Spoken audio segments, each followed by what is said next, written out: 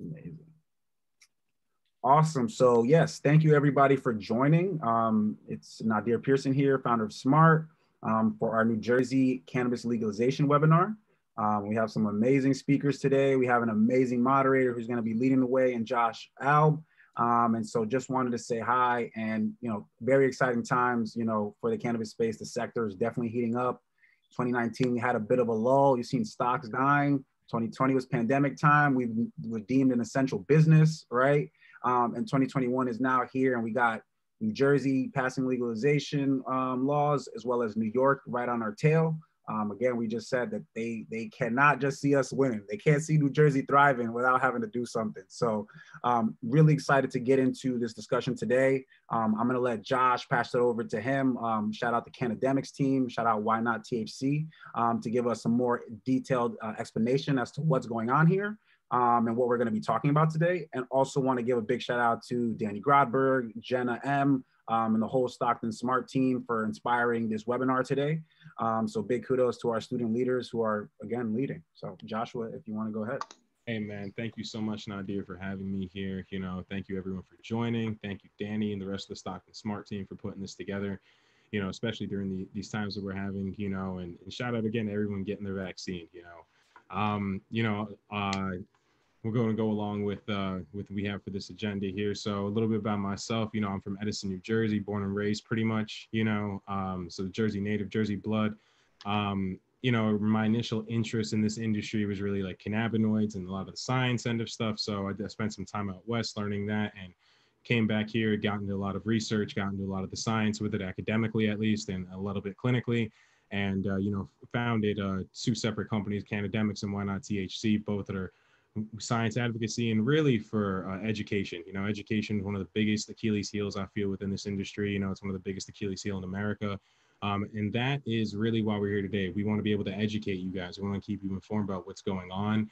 You know, it's important because there's so many questions, so many things up in the air, you know, and there's a lot that we don't know yet. Um, but honestly, the people to get the information from the best of the three people or four people sitting next to me in my screen right here, you know, Tauhid, Chappell, uh, Jessica Gonzalez, my man Evan, and of course Nadir. Okay, so you know, without further ado, you know, Tauhid, my man. Okay, because I see you're in the you're in the direct screen next to me. You know, I want to like uh, I want to introduce you first. He's the founder of Can the CannAtlantic Conference. This man is verified on Instagram and Twitter. Okay, he is serious. All right, he is no one to play with. All right. You know, so to Tauhid, you know, without further ado, I'd like you to introduce yourself. Tell everybody a little about yourself, my man. Oh goodness, the check marks. Oh my gosh, thanks. um, hi everyone, my name is Tauhid Chappell, uh, pronoun he, him. Um, uh, originally born and raised in Camden County, uh, New Jersey, and I'm actually back in Jersey um, due to pandemic reasons and whatnot. But um, here in Jersey, I'm a cannabis journalist, I'm a cannabis educator, a cannabis activist. Um, Josh hit the nail on the head. I'm all about education and making sure that people really understand what legalization means and the impact it has on different communities. Um, my background, I've also, I'm also a, a, cannabis patient. I suffer from an autoimmune deficiency disorder called ulcerative colitis, and cannabis helps with that. Uh, I lived in Arizona, California, DC, and most recently Pennsylvania. So I've been in very different, very different cannabis markets from the West Coast to the East Coast, and I've had a whole bit, whole bunch of different insight on what's working and what's not. So uh, very excited to be here. Very excited to talk about New Jersey. And uh, thank you for having me here. Appreciate it. And thanks for coming on. All right. The next person to my right is Evan, my brother, Evan Nison. He's the founder of NJ NORML and Nison and Co. But let me tell you something. This man's done a lot. You know, help organize protests over here for the legalization for the medical side. He's worked uh, with the executive side with, you know, NORML. There's so much to do, man. He, told me to keep it short though. Okay. But without further ado, Evan, man, I want you to introduce yourself to the room, up in my man. Thank you. Um, my name's Evan Nison. Uh, I'm currently in East Brunswick. Usually I'm in Sayreville, but I'm letting my apartment. Uh, you know, similarly, I'm I'm moving. I'm in a different place because of the pandemic. I'm letting my apartment to someone. Um, I'm the vice chair of NORML National, and on the board of uh, Students for Sensible Drug Policy, the national board. I'm also, as you mentioned, uh, helping revitalize NORML New Jersey here. Um, and then uh, on the business side, I consider myself a social entrepreneur. So I have uh, socially benef- what I try to make socially beneficial businesses. Um, one is a cannabis, cannabis focused PR firm. Um, we employ about 20 people. Um, I think we're the largest cannabis specific, at least the cannabis specific PR firms. Um, I have two smoke and vape shops in New Jersey, which I uh, started with somebody uh, in New Jersey who was incarcerated for cannabis for about a year.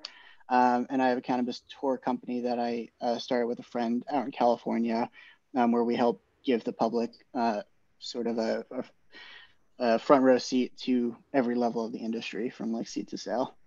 That's incredible, my man. That's incredible. Now I got to introduce the best for last, the powerhouse in New Jersey, Miss Jessica Gonzalez, the, attorney, the cannabis attorney from Bressler, Amery Ross, and PC. How you doing, Jessica? How you doing today? Yeah, very happy to be here with everybody and my pals. Um, so welcome everybody. I'm Jess Gonzalez. Um, I'm a cannabis attorney in New Jersey. I'm also outside general counsel for Minorities for Medical Marijuana. I sit on the policy committee for the Minority Cannabis Business Association. I was part of NJCAN as well, which, um, as we all know, really helped lead the most successful cannabis campaign in the country. Um, I advocated and testified and actually brought on a whole bunch of folks who are on here now with me to testify for social equity initiatives um, as well. I wear a couple of different hats um, in the space, but very excited to be here today. Thank you. Thank you so much. Now, you know, we got our questions here that I want to start getting over with everyone so we can start legalization. What's going on? Decriminalization, everything. So, you know, Jess, I kind of wanted to ask you first, man, what do you see as the wins? What's going on? What happened? Okay. A21, S21, bills with letters and numbers. What happened, man? We, we need to know. Right. So um, for folks um, who are very, you know, well attuned to what happened, you know, on November 3rd, we had a 60, about 67% turnout um, in terms of those favoring um, adult use legalization. Cannabis won in every single county in New Jersey, deeming this the most successful cannabis campaign in the country. And so what ended up, you know, happening was right after that, um, a few days later, the bill was introduced um, which was A21S21, um, with a committee hearing that Monday, right? So that didn't really give many uh, folks much time to prepare. It did, you know, take a while to get there, um, but eventually there were compromises really on both sides of the aisle. Um, and so in December, it passed both the Senate and the Assembly, and then Governor Murphy uh, signed it into law February 22nd, 2021. And so he signed into law three different laws. Um, one was the adult use legalization for personal use for adults over the age of 21. It also deschedules um, cannabis as well in New Jersey. Then we also had the decriminalization bill as well, which um, uh, um, six ounces or less as well, and also put down a couple of other penalties. And then we also really had a cleanup bill um, as well that a couple of folks were, were kind of confused about, um, but that basically had to really clarify a lot of the provisions for juveniles getting caught um, with cannabis possession. But what it also did was it kind of made it clear the difference between with cannabis and marijuana. Um, and so New Jersey is really the only state in the country that has actually delineated that sort of verbiage in in terms of cannabis, you know, equals weed that you get from a dispensary and uh, marijuana is weed that you do not get from illegal dispensaries. So for folks who are asking why did we have to have a decriminalization bill because the decriminalization bill decriminalizes marijuana. The legalization bill legalizes cannabis. Um, and so I would say that for folks, you know, who are in, out there in other states to really um, ensure that that sort of delineation does not happen um, again. But basically kind of right now where we are is the adult use bill um, is basically going to create a regulatory framework, right? We're going to have six different classes of licenses ranging from, you know, cultivation to delivery. We're also going to be having, which I think we'll get into more discussion later. Um, but basically that's what it's going to do, right? We have now a commission that I think as of yesterday, I don't think it's been a formally officially formed, but now all five members have been um, appointed as well. And the moment that it's officially formed, that's when a lot of the timelines are going to kick in into when licenses are going to be put forth, when regulations are going to be put forth. So that's where we're at as of today. Okay, so Tauhid, I got to ask you something. Though. We've gone over these bills, and as someone who's who spent a lot of time growing the plant, I used to work as a horticulturist, running a you know about an acre long farm of you know what would be deemed as cannabis. You know, because we were selling to legal dispensaries. You know, how does how does this wording play? Because you and I both know marijuana is has a, some pretty racist roots. The fact that you know the the disproportionate of the the color industry, all of a sudden now we're looking at this. So what can you say? You know, we're looking at, you know, do we still have work to do? You know what I mean? Is there still work? Yeah, um, you know, Jess, correct me if I'm wrong. I feel like lawyers are probably going to be really busy because of the delineation between marijuana and cannabis. They are the same thing. Um, for for some background, I recently came back to Jersey from Pennsylvania uh, after you know working a lot in Pennsylvania and looking at the policy there.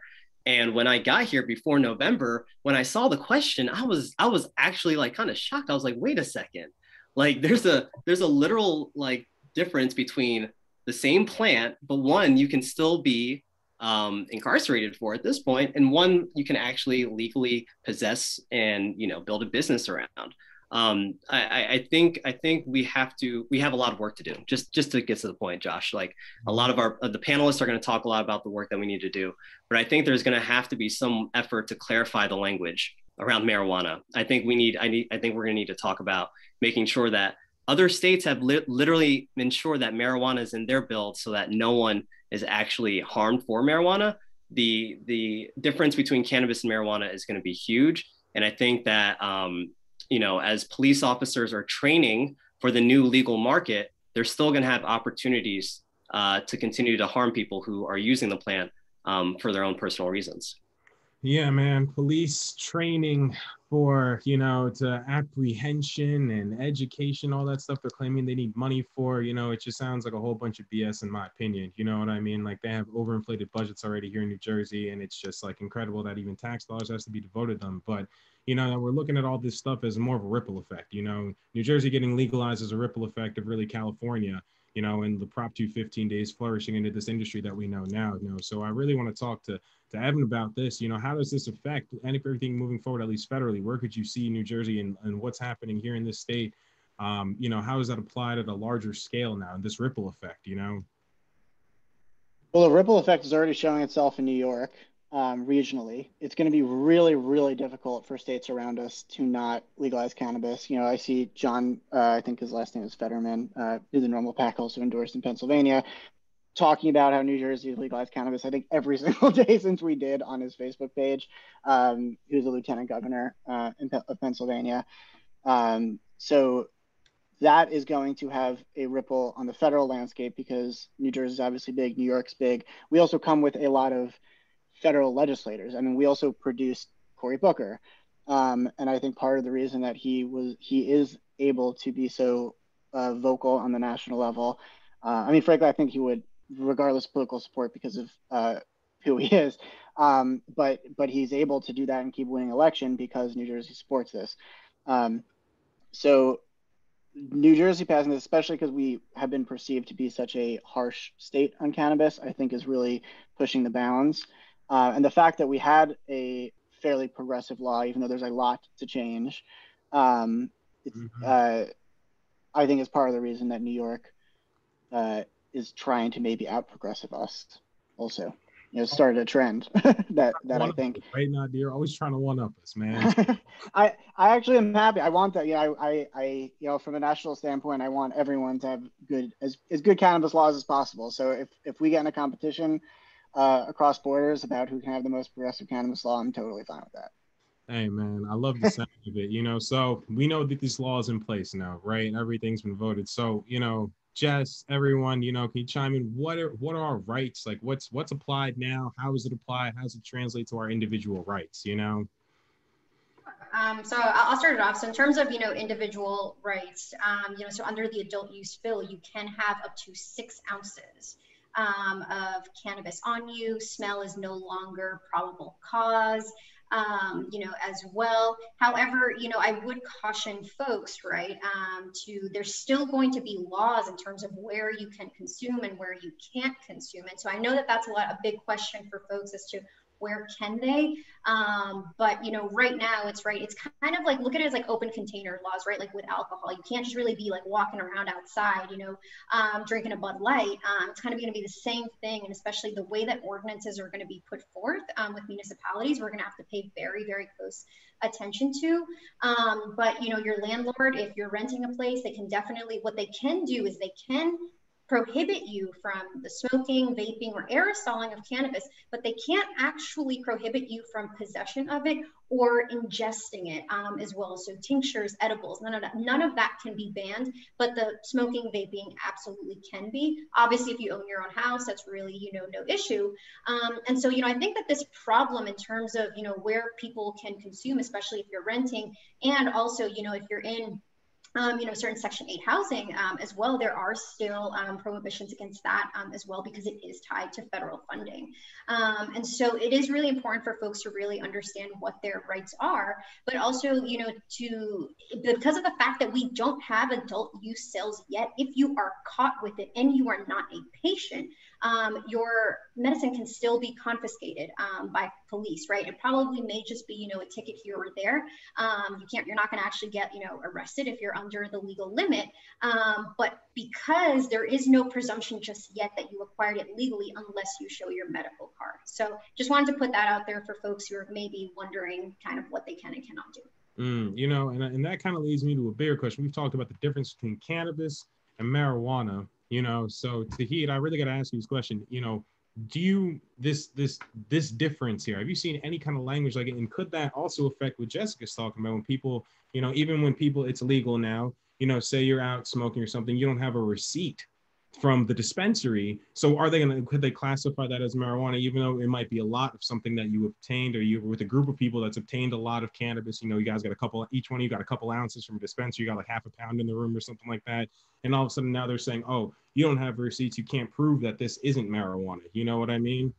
Yeah. One thing, um, one thing I really wanted to, to dovetail off of what Jess was saying too, is that you cannot grow cannabis still like for anyone who's watching this you can't grow cannabis in new jersey. So don't think that oh it's legal like i can i'm still like i'm protected or i'm immune from growing my own.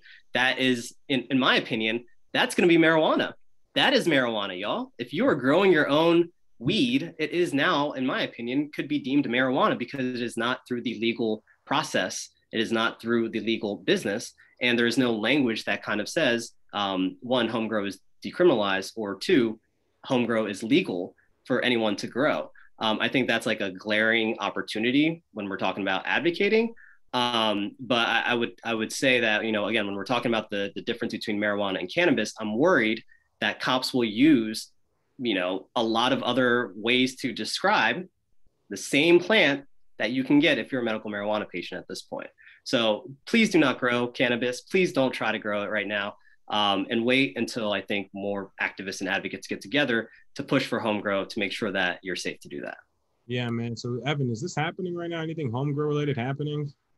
Yeah, and also the home grow laws are untouched, so they're still very, very harsh. Um, it's not just that you're uh, committing a crime. You know, I think most of us might have been okay with doing that. Um, this is a, a, crime that comes with serious punishments that I really you know want to stress like do not do.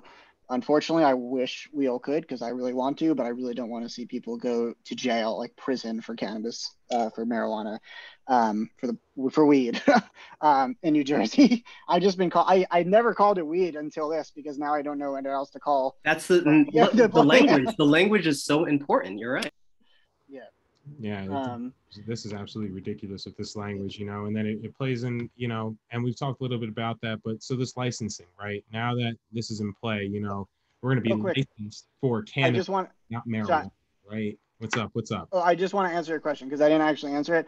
There is going to be legislative action to try to decriminalize and legalize home grow.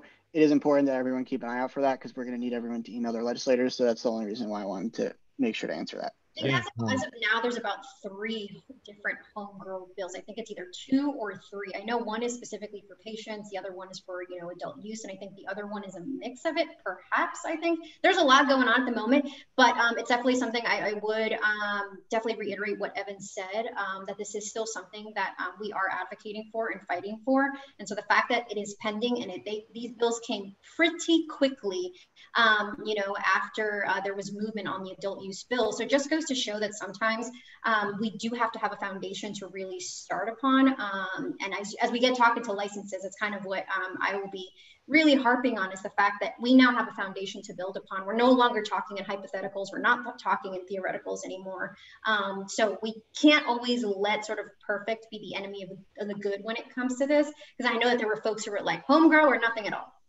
right? Um, but not realizing that there is a chain of events that really will will come down from this. Yeah, you know, um, and a lot of the at least the black end, it just seems like a lot of this was kind of more of a money grab for them not to allow homegrown. You know, it's definitely an MSO move, a larger corporation move. So, you know, and that kind of plays into this whole licensing that we're talking about right now, right? You know, like people's ability to get licenses, what kind of licenses are going to be available. So, yeah, what kind of licenses are going to be available? You know, because you guys explain that a little bit. I'll start off. Um, so we're going to have six different types of classes of licenses. So it'll go cultivation, processing, wholesale, distribution, retail that comes with a consumption lounge. You can apply for a permit on that and delivery um, as well. And I think probably one of the best moves there was putting the consumption lounge for the reason that I spoke about earlier about the fact that there are people who are not going to have um, a place to safely consume.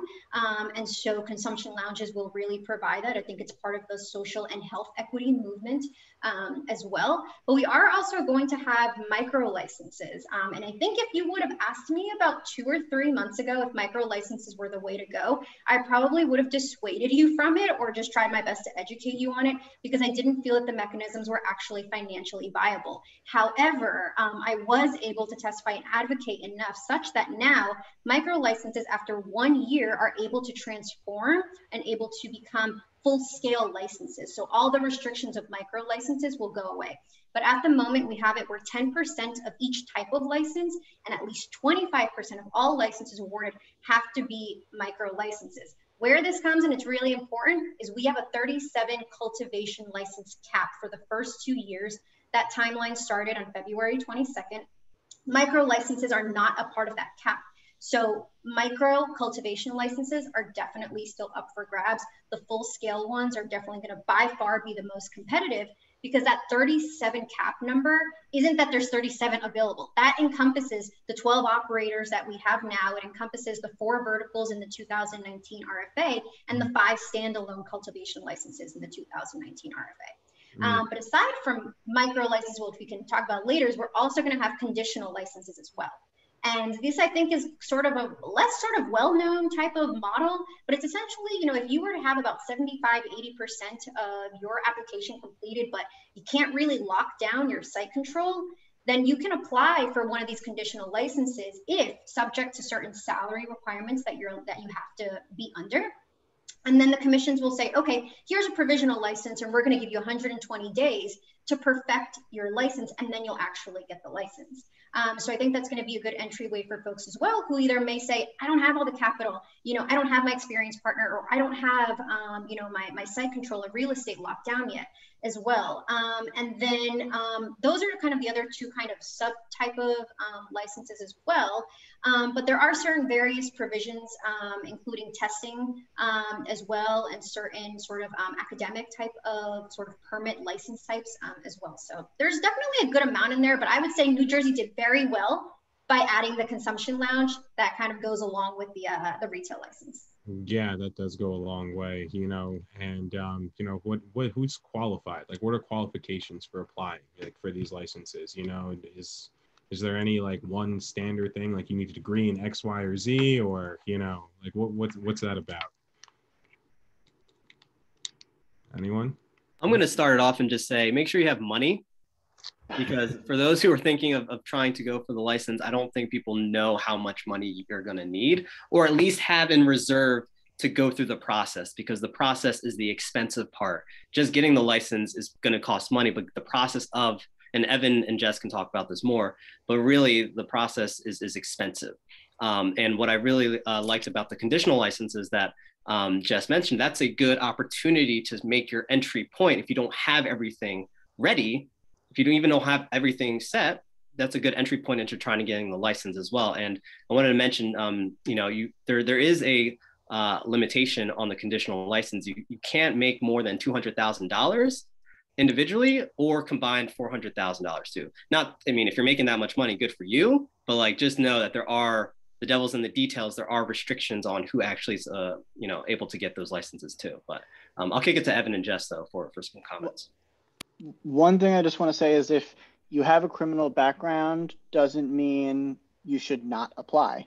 Um, that's one of the good things in New Jersey's law. You know, if you've gotten arrested, I don't know every single detail, just mean if there are limitations, but I know that the vast majority of uh, criminal convictions you can still get a license for. So, um, you know, if you were part of the illicit market, if you're part of the illicit market, please come join, you know, because you're less likely to get arrested, you're more likely to make more money.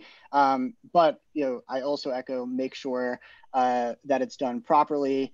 Uh, you have enough capital because if you don't have the right runway, you could, you know, die before takeoff, sort of, so to speak, crash before takeoff.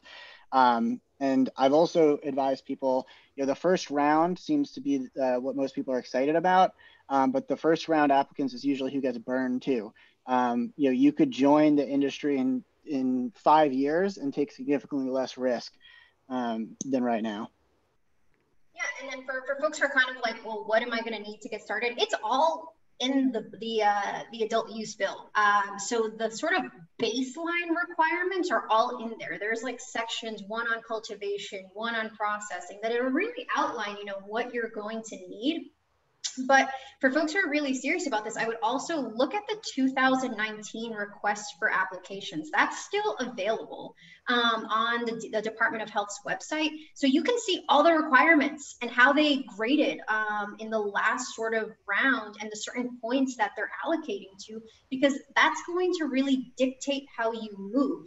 So kind of take from the 2019 RFA requirements, look at the current bill. I know it's like 220 pages, but control F is your best friend. So just control F cultivation until you get to the spot, um, you know, where you need to be. And it'll lay out, right, your type of summary, you know, your operating plan. What type, what does site control really mean, right? What are you going to need for all these types of things?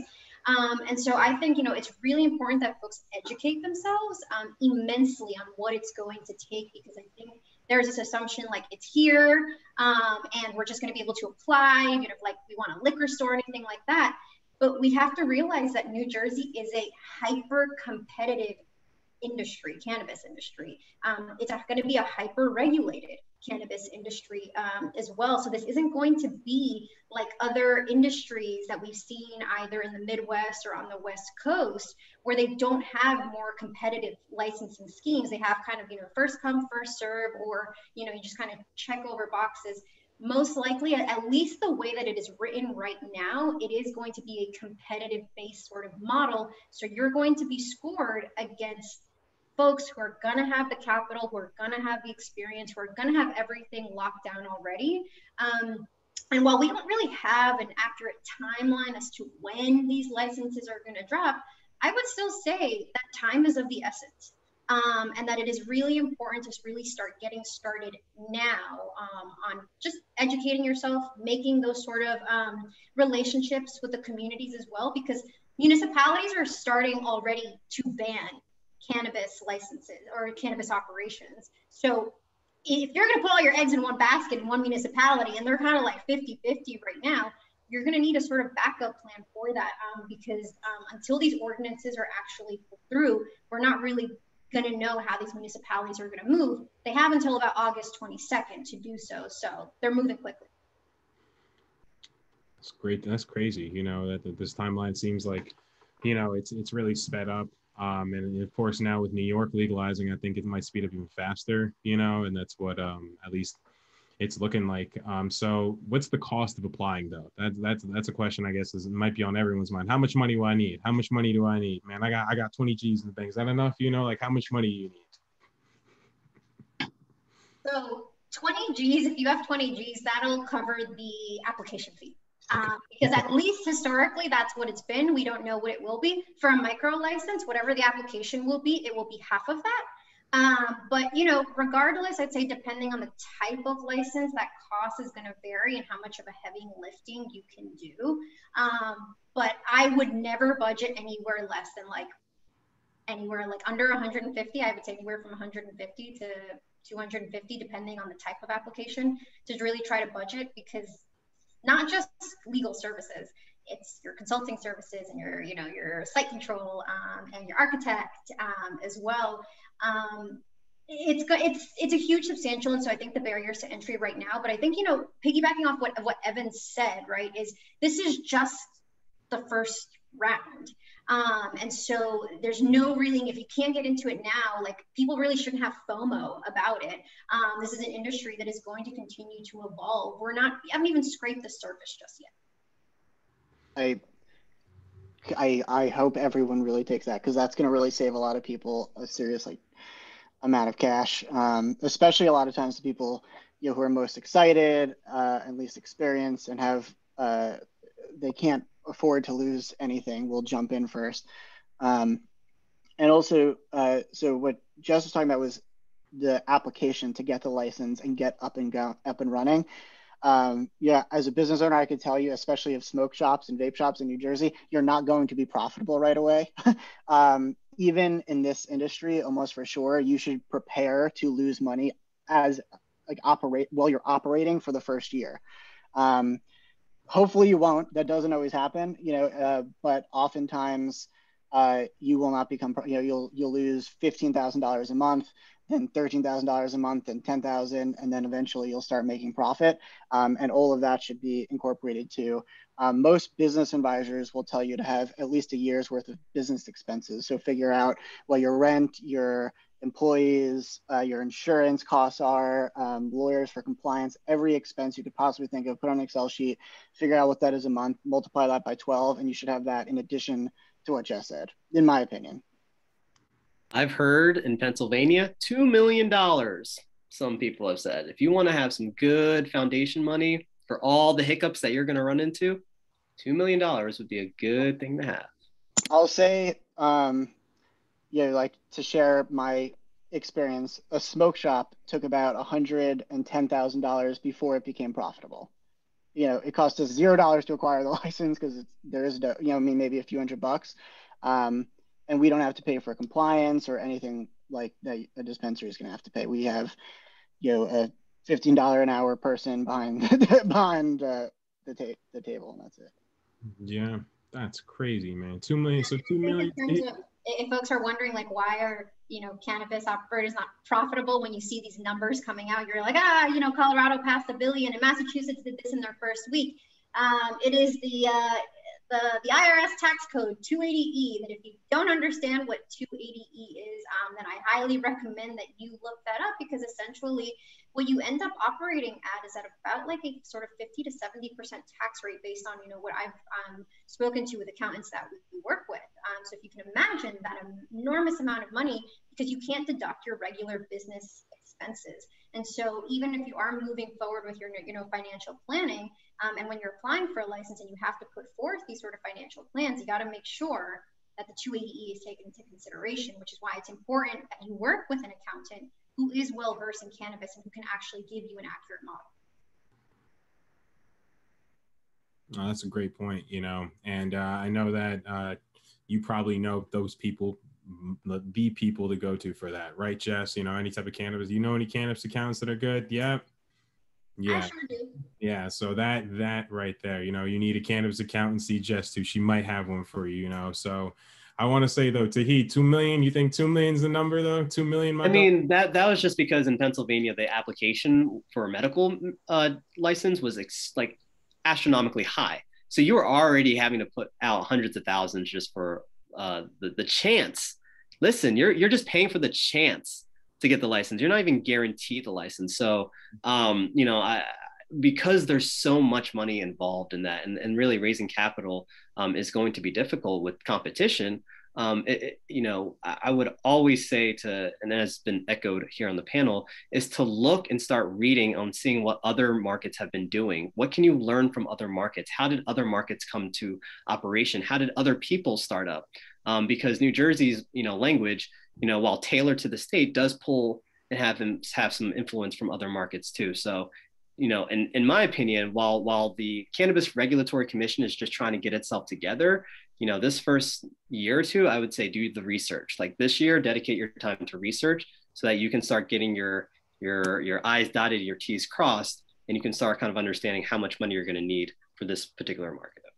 No, one hundred percent. You know, one hundred percent. So you know, then it, that gets into really the the big question. You know, what's the what's the current status of the market? What's our timeline looking like at this point now? You know, it's a big question that that's on everyone's mind. You know, Evan, Evan, you want to start off with that one?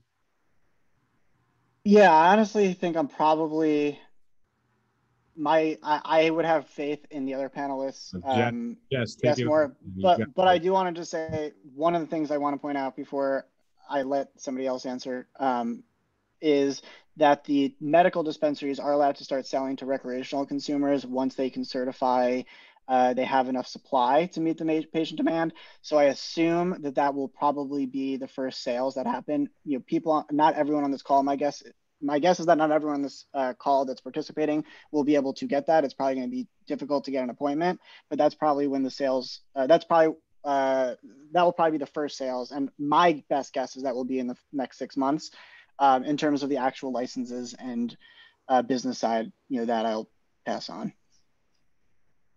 I think in terms of like when licenses will be available, I think that that it's like you know uh, we got to be expert tea leaf readers right? Um, to try to see when because the commission still you know hasn't really been officially officially formed just yet. Um, and so what ends going to end up happening is they have to form they have to put forth their staffing um, but also then we have to put forth regulations and these regulations are going to be subject to public comment period so i encourage everybody on this call to please participate in these public comment periods because if there is a specific license you want to go for or a specific business opportunity, this is really going to be your chance to let you know the commission uh, know what you need. What what resources do you need? What is blocking you from getting to where you need to be?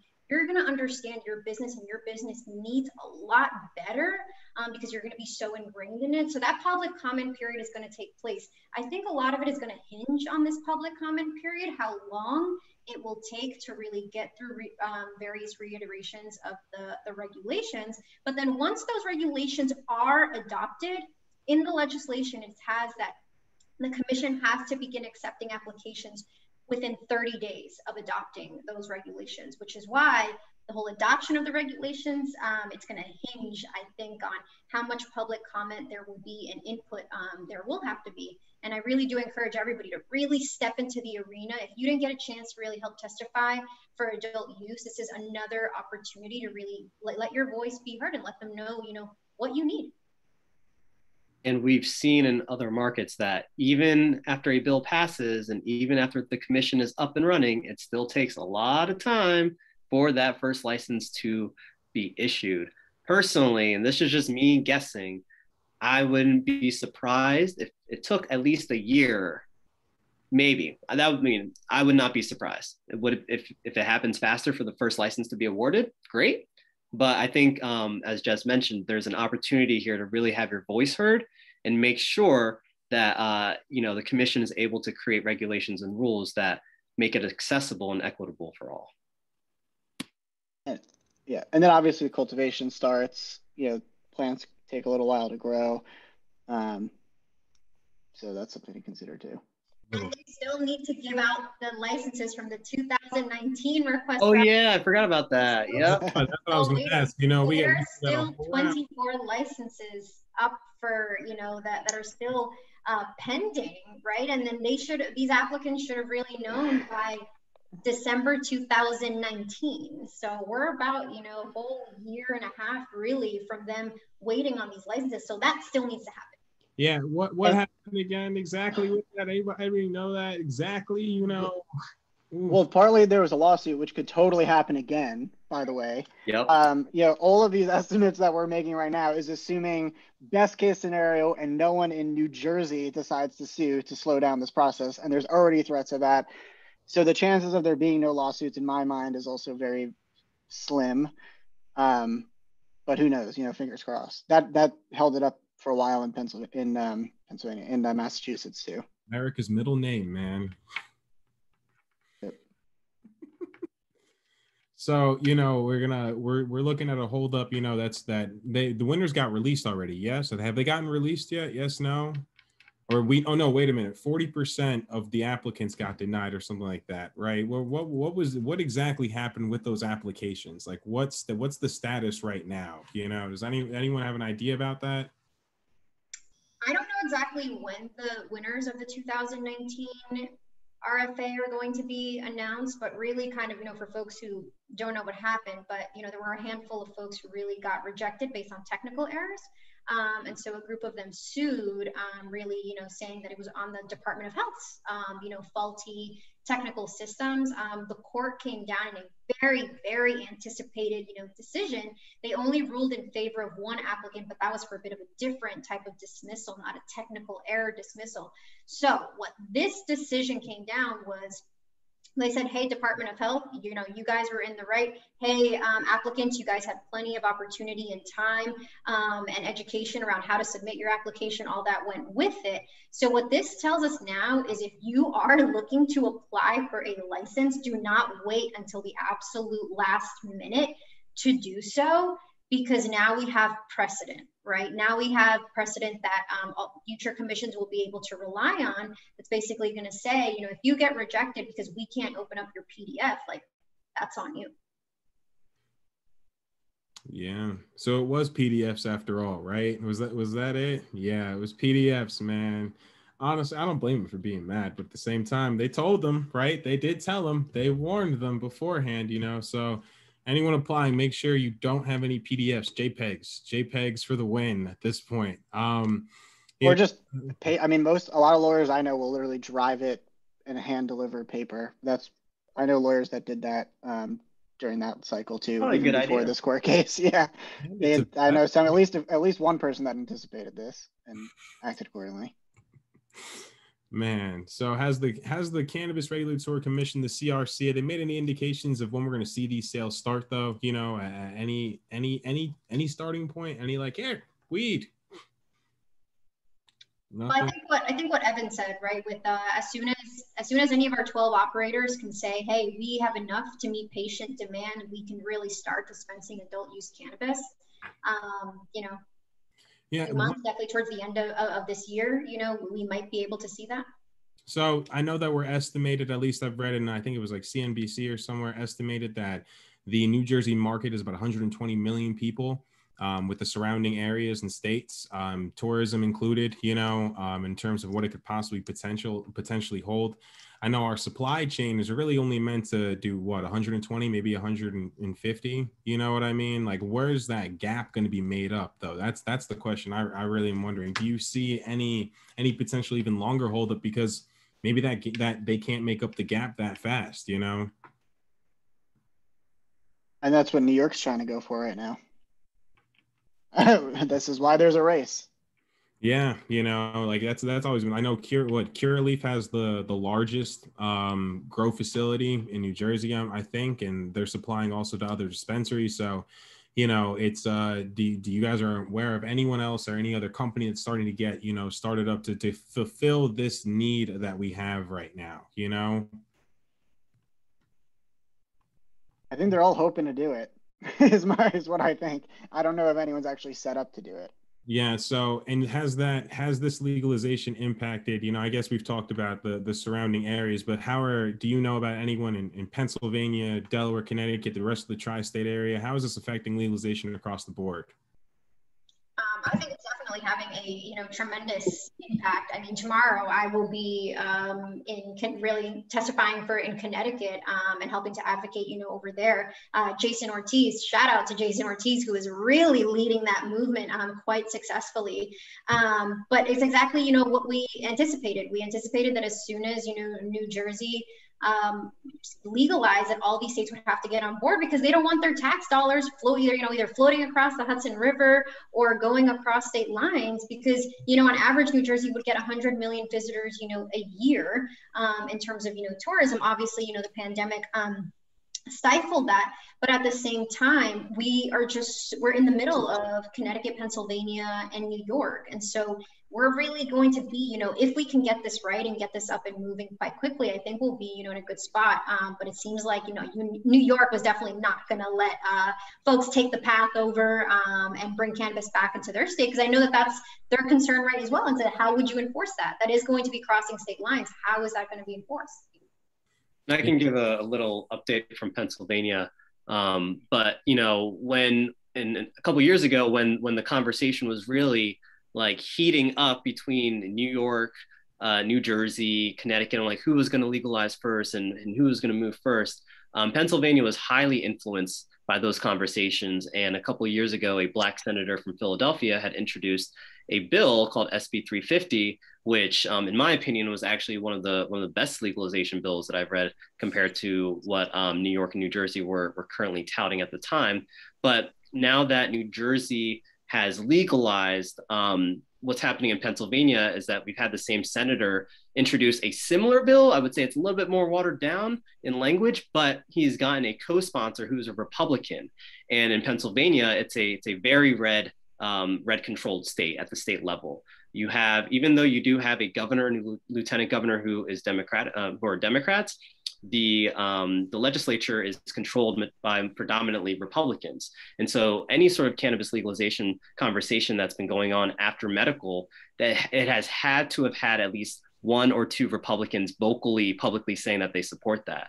And so now in Pennsylvania, because you have a Republican sponsor, co-sponsored adult use bill, um, those conversations are now speeding up. And as, as New York is pushing faster, Pennsylvania certainly doesn't want to get caught out, right? Pennsylvania is a huge agricultural state as well. So there's a lot of opportunities for farming. There's a lot of opportunities for tourism too. And Philadelphia, you know, one of the largest cities on the East Coast, mm-hmm. um, it's right across from Camden. So there's a lot of conversations happening in Philly on how are we going to handle people who literally drive across the bridge get their weed, and then come back because uh, that's going to be a, a, pretty quick issue um, if New Jersey moves everything at a you know good pace. So Pennsylvania is moving fast, folks. The domino effect is happening, and uh, you can see the ripple effects so easily right now. And I believe today, uh, one of the, the bills that uh, Jason Ortiz helped push through just got um, voted um, out of committee as well. So it looks like that's also moving. And I actually just got um, a text today um, from my friend uh, Chelsea down in Virginia, who's really trying to spearhead for social equity. To actually, she told me, she said, you know, that their governor is looking to now legalize possession um, of cannabis. And she said legislators kept saying we needed New Jersey. So she said, actually, thank you for New Jersey because that's what they really, you know, were looking to. So it's not even just like, you know, a tri state area, it's really what we're looking to on the East Coast. I, I mean, just to echo this and like add my story to that, I lobby in New York and New Jersey. I was a registered lobbyist in New York for a while, and I got one of the pens used to sign the medical law there. And I had a bunch of legislators, staffers contact me, ask me what they could learn about New Jersey. Um, it is very much happening right now, those conversations, because of New Jersey. Man, this is this is incredible. You know, we're looking at this huge domino effect started from the Garden State, you know, at least here on the East Coast and like moving forward, you know, and it's just like, you know, to kind of wrap this up, you know what I mean? What roles, you know, can we all play to continue bringing this equitable industry, you know, to New Jersey and really to, you know, if people are listening in from other areas to their hometowns, you know, to their home estates?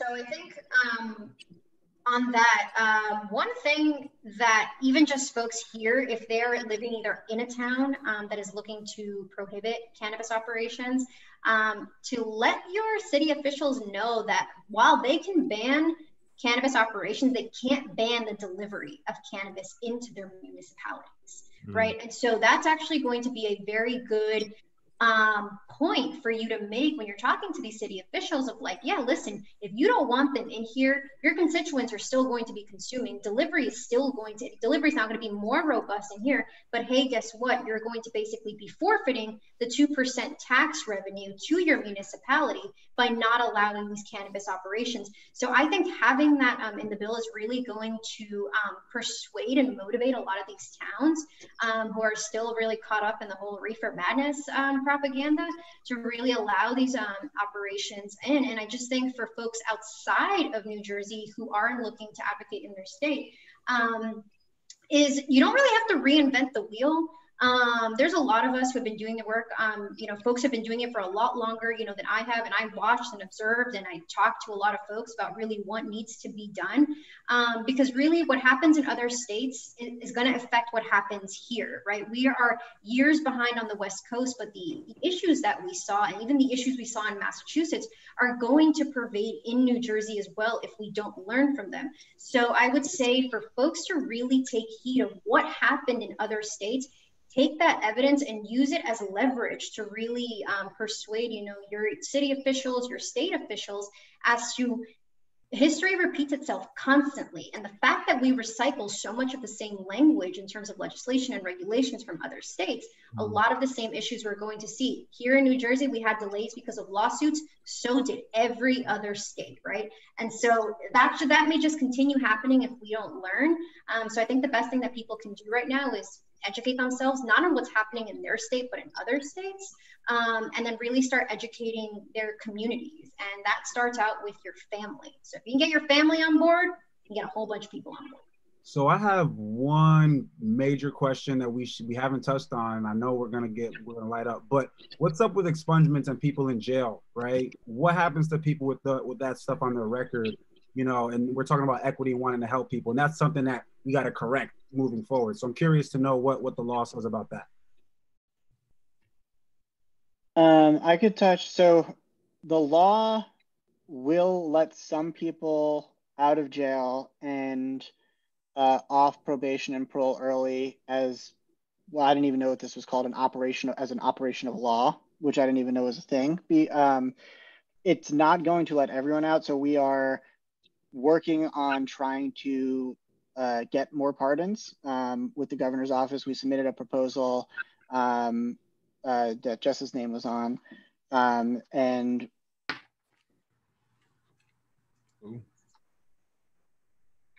Is it? Did he freeze? The big freeze. Yeah. If Jess, you want to continue where Evan, or he'll pop back in when he's, he's back. Oh well, well let's see. Let's let's wait for for Evans. I know that this was his uh, his brainchild. I know he did a lot. Yes. I would say with we, we is NJ NORML uh, or NORML NORML. Yeah, I mean the thing with expungement though is that there was an expungement bill passed. I believe it was in 2019 that wasn't cannabis specific, but did speak to certain types, right? Um, and so that there are going to be that. But for folks who don't understand, like New Jersey has one of the most onerous expungement processes in the country. Um, and so, you know, in terms of, you know, how it would be done, right, is that now would be sort of online. It would, it's not going to be automatic the way that we wanted, but it's still going to be, you know, an online process, something. Um, but I still think that there's too, way too much of the burden um, on the petitioner to have to go through all of that, because in order for you to get expunged, like, it's not just like one agency, you got to go to like five different governing bodies to really, you know, fully get it expunged. Um, but, you know, for folks that do have certain cannabis related offenses, um, you will not be precluded from applying for licenses um, as well. But if you have been convicted of like fraud or embezzlement or something that has to do with truthfulness and honesty like that, that's going to be up to the discretion of the commission whether or not they deem you rehabilitated or not. But if it is cannabis related offenses, um, I believe it, it's only up to a certain amount. Um, and I kind of forgot the number, so I can't give exactly that. Um, however, you know, I would definitely check to, to make sure, um, both in the decrim bill and the adult use bill, what that is. Um, but there is language explicitly stating that those with felonies and criminal records related to cannabis will not be excluded if it falls, you know, under a certain amount. I think it was even up to like 25 pounds. So it's, it's pretty, it's pretty large. Um, and that's actually, you know, a pretty solid avenue for folks to go into. Evan, you're back. Sorry about that. I heard you say big freeze. I was like, I'm frozen. What? I, I, I was going to also say you're talking about we, so just let everybody know for context who we is in terms of getting those pardons and doing that work. Um, so was that to me? Yes. Sorry. Um, there was a whole coalition. Um, I helped write a proposal with the ACLU's assistance um, and we had like 15 or 20 organizations sign on to endorse. Um, there's ACLU, NAACP, NORML, um, MPP, um, Salvation Social Justice. Jess was on there as an individual. Minorities for Medical Marijuana signed out as an organization. Um, Latino Action Network, bunch of uh, really solid organizations. Um, and we have some additional things planned as well. But the law is uh, actually decent at that, um, but it doesn't get everyone out of prison. Important. So we can talk about maybe next steps, but I, I just wanted to also encourage everybody. This is this is about to be Q and A time. So please, if you have questions, send those to the chat now. Um, I'm gonna ask one more question, then I'm gonna go back to being quiet. Um, what the question I was gonna ask was just about also like community and reinvestment with taxes. Where's tax money going from this? We see a lot of places like uh, think it was Colorado and another state recently where tax money from cannabis actually outsold uh, alcohol this time around. So we're starting to see, you know, the popularity of cannabis in different states. So where's the money going from taxes and how can this potentially help communities if it's not already doing so? Yeah, so um, the way that the cannabis tax revenue, so for folks who are not under, don't know what the tax rate is, right? The way that we voted on it was that it would be the sales tax plus a 2% um, municipality tax. So I know there's a lot of folks saying like, oh, it's only going to be 8.625 percent we're going to have the lowest in the country. Um, but that may not actually be the case because municipalities can actually tack on. So if you're at the cultivation level if you have a cultivation and processing 2% 2% you know there while that may not end up on your receipt that's going to somehow find its way really into you know that price as well but the way that it is broken down is taxes you know there's a portion of it that's going to go towards overseeing the commission and all of its offices and duties. Um, a portion of it will go to police for law enforcement for training. A part of it then uh, will go uh, i believe um, forgot, I think it was like 70% will go to social equity programs as well to municipalities that are deemed as impact zones. And these impact zones are municipalities with you know high unemployment rates, high incarceration rates for cannabis, disproportionate arrests. There's a few other um, criteria you know within that. Um, but the tax revenue then will funnel over to these municipalities to enact these sort of programs, right? And then there is um, a social equity excise fee. Can't call it a tax because we didn't vote on it, um, but it's a fee um, and that's up to the discretion of the commission. So if the commission wants to enact a cultivation social equity excise fee, it's going to be at the cultivation level. And then 100% of that tax revenue would go to social equity programs for an undefined term um, of people from socially and economically disadvantaged communities, whatever that means, um, but to impact zones. And so municipalities are going to have an enormous amount of discretion and power over these tax revenues, which is why it is enormously important for you to start engaging with your city officials, start attending those town meetings, those town halls, start letting them know who you are and getting involved just because of how much um, money they're really going to you know be taking in. And we do want to make sure that the money that they are taking in um, is actually going towards these programs. And these really actually great programs that are contemplated in the bill yeah as long as it gets implemented properly. Right. Which is sometimes a big if, but. Ooh, and you know, just to just to reiterate what Jess said, like this is an opportunity to get involved. You can get involved in this right now. Um, especially at the municipal level, the fact that the money is going to be allocated at the municipal level, um, that's pretty big um, for better or worse. And so, if you do not know your local elected officials in your town, in your county, et cetera, this is a good opportunity to reach out and say hello.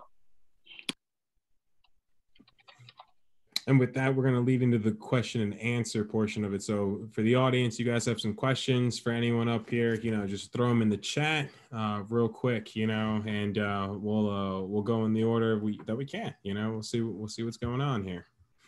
So, uh, can a, a town ban all the licenses or services? Um, I'm gonna say if you guys want to just pick and choose actually which ones you, you think you want to attack, you know what I mean? There's it seems to be a lot. Uh, I know the one from Jackie mentioning the the town banning businesses, and then um, the view of tourism. Someone wants to know is the view of tourism with cannabis in the summer, stuff like that. So I guess a good example would be like Atlantic City. You know what I mean? How could how could cannabis impact somewhere like there? Just I'm going to just say quickly because I know Jackie's question just came first, and I think I answered it already. So yes, municipalities can ban all cannabis operations, but they cannot ban the delivery of cannabis or cannabis products in their municipalities. That's one thing. And then as for how it's going to affect tourism, especially during the summer at the shore, Atlantic City is a hotspot. A lot of people are going to want to be um, in Atlantic City. I do believe it is also deemed an impact zone as well. And so that's also, um, you know, because 25% of licenses are going to have to go to impact zones.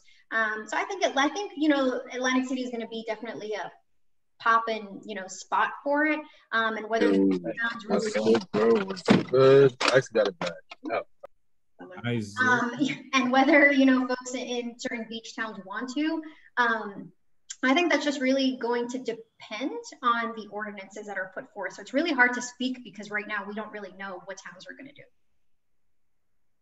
Atlantic City also has been asking for this as a municipality for a long time. I remember going and meeting with the mayor at the time, like eight years ago or seven years ago, and they were all over this from the get go. Um, so my guess is that they will probably be putting even some dollars into it. Um, obviously, it's going to depend on when other places go. Yeah, I mean, there's still Vegas. Vegas is legal, so we kind of they were hoping. I know Atlantic City was initially hoping to beat Vegas. That happened. That we failed at that a long time ago. Um, but there can also be other business opportunities. You know, like I, uh, I.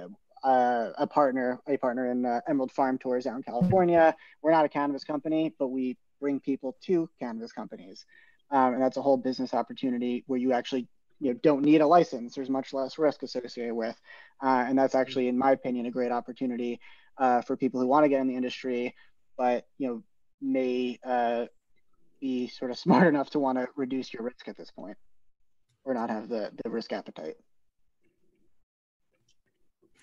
Yeah, you know, um, so I, we'll move on to uh, Catherine. Uh, Catherine Hernandez has a question. She's uh, asking about the licensing for um, work for edible companies, you know, cannabis-based edible company products, and has the legislation maxed the dosage limit, which is a good question. have they put a cap on how much THC is going to be allowed in certain products? How many cannab, how much can I have, what the cannabinoid limit would be? So in terms for, for edibles, that's that's a processing. Like so if you want to actually convert, you know, raw material into, you know, a tincture or a brownie or something, that's gonna be take form in the form of a processing license, right? And then if you want to sell it, that takes the form of a retail license. So anything that is going to touch the plant is going to need a license, but it is important to know that you're not going to be able to just get all these types of licenses at one time. The state is coupling them in a way. So if you want, if you want to get a cultivation, you can get a processing, but you can't get a retail one. There's a two-year ban. ban on it. If you want to get a wholesale, you can only get a distribution license. Um, the purpose is they kind of want to get away from the vertical model. So it's also really important for you all to know, because um, I know I sometimes get folks who are like, I want to apply for, you know, six of these. And I have to tell them, well, you're only going to be able to get two um, at the most. So we have to really narrow in to see which two um, you really want and which ones you're actually going to be able to apply for. Um, so that's it. In terms of uh, dosage, I'm not so sure if they place a sort of cap on it. I do know that there is language as to how much can be within an individual serving. And I believe it's somewhere between like five to 10 milligrams, which I think is pretty standard um, around the country. Yeah, I'm looking into the bill right now, and I'm, I'm, trying to see if there's actual dosage uh, language in there because I think that that's a really good question, and that's going to be important too. But I'll check back because I'm looking at the bill right now. Yeah, um, and then so check back with us on that. And for the last question, we're going to wrap it up. Uh, is real estate required to apply for retail licenses? I I yes. think yes. There, is there is going to be there's a portion um, on the application. At least historically, this is how it's been because we don't have a current um, licensing round. But they did require some sort of site control, right? So whether that came through a lease, whether that came through a deed, whether that came through a letter of intent, where um, you're not actually um, committing to it, but you are going to need to show some form of site control. But one thing that is really important that you are going to most likely have to show is sort of if you are renting it, you're going to have to show a certification from your landlord that they understand that it is for a cannabis product or a cannabis sort of operation. Um, but once again, you know, if you fall within under the um, the requirements for a conditional license and you may not have real estate, but you have everything else, um, right, then real estate might not be um, necessary at the time of applying, but you'll have a certain amount of time before you have to do so. Okay, and that's interesting with uh, California, though. I mean, thank you, Jess. And you know, we're gonna wrap this up now, guys. You have any final words? You know, want to go around, say any last words, everybody? I'll say one thing um, in terms of uh, you know what people can also be doing now. Um, really read. Like I, I have to say that um, that I, I hope that people that are interested in becoming you know a part of the industry come in with an understanding and a consciousness as why we're getting involved right? There are people who are literally locked up for a plant that should have never been illegal or prohibited in the first place. And they're not going to have the opportunity to participate, or they're going to have a very hard time entering this market. And so I'm hoping that people, you know, two books that I would say New Jim Crow, read that book as a starter. And then also read the book Smoke Signals by Martin Lee, which is a really good book and talks about the history of marijuana prohibition. If you don't understand the history of this plant, if you don't understand the history really of the drug war. Um, you know, I fear that people are going to be entering this market without understanding what the impact is and why they should be participating and how they should be helping others. So really read, really understand the the history of cannabis because that's going to make you a more under like just empathetic person to the cause. And also, I think it'll help people become more allies in supporting these equity measures. Um, I would definitely echo that. You know, this industry would not exist if it wasn't for a social movement. Like no one did all this work to create an i mean very few people did all this work to create an industry. It was for the social purpose. Uh, decades of volunteers um, doing free work. Um, and then the only thing i would say is that you know it's not like cannabis is legal advocates job is done and now you know people who want to make money have their opportunity. Like the the work is going to be consistently evolving. We talked about just some of the things that need to be improved. More things will come up. Um, it's going to be difficult to implement this properly. You know, passing the law is very difficult. Implementing it is sometimes more difficult. Um, we've noticed around the country. So, you know, don't just assume that you can't be an advocate and you can just make money. Um, that's, I mean, you could try, but uh, we're not going to get far uh, as a group, as a community, if if we have that mentality. Uh, my final thoughts um, for everybody is uh, thanks for, for definitely spending uh, you know seven o'clock on a Thursday night with us. This is part of you investing um, in your education. Um, and so I would say you know definitely echoing Tauhid and Evan right, like definitely educate yourself, get involved, step into the arena um, as well. And then my last thought is really is to please make sure that you do your due diligence on who you plan on working with. And that's going to stem from your partners to your professional services um, as well. Just make sure because right now folks are really seeing this as a huge money grab. There is a certain thing, right, called the green tax, where everything is much more expensive simply for the fact that it can be because this is going to be such a high demand you know industry so if you are looking to work with individuals and you are looking to partner up with folks like do not take what they say, you know, at face value. Really dig in, really do your due diligence, um, just because of how hard and how expensive it is going to be to, you know, really apply for this sort of license. And it's much easier to catch all these issues now than it really is down the road. Because right now, everybody's best friends, everybody's in the same boat right now. We're all excited and everything like that all of that changes. And when people are like no it's not it's not going to change i always tell them like then i would be out of a job. Lawyers would be out of a job if shit wasn't going wrong.